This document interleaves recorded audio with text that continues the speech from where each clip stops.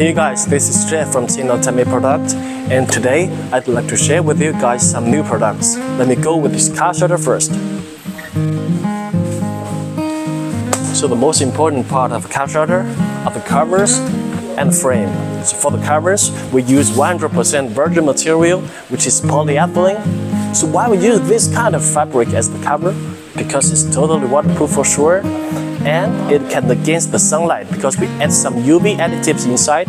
And what's more it can against the wind as well. Because look here between the two pieces of fabric we use these bungee balls to connect so that if the wind is too strong it can actually release some power so that the fabric won't fly away. We use galvanized steel as the frame. It has two parts the main tubes and connectors it's easy to install because we don't need any tools, then we can put them together and then we get the structure. And what's more, we add wire rope here to make sure the structure is stable enough.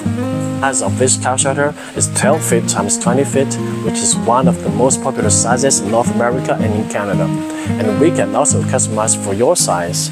And so are some other details, like the color of the cover and if you need a window here, then we can make a window here. In a word, we can customize any style if you can share with us your ideas.